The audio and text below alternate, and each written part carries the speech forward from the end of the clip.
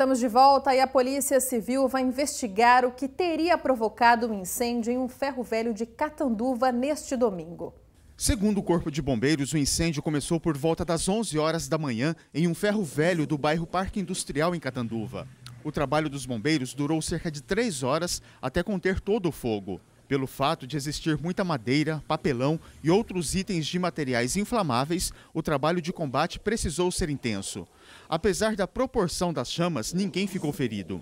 A polícia ainda não tem pistas do que teria provocado o incêndio.